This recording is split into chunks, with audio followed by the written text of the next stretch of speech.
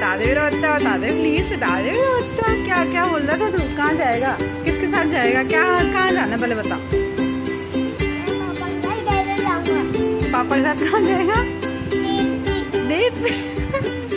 तुमने, तुम यार, मैं मैं जाऊँगी ना, तुम क्यों जाओगे डेट पे?